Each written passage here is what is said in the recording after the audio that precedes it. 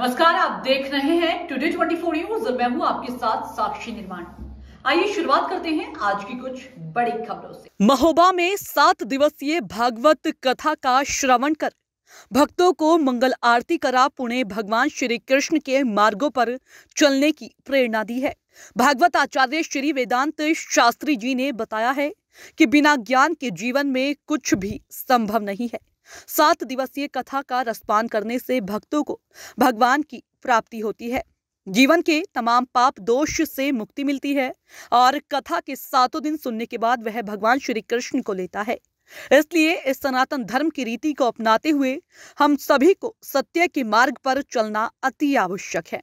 भागवत भगवान की है आरती पापियों को पाप से है तारती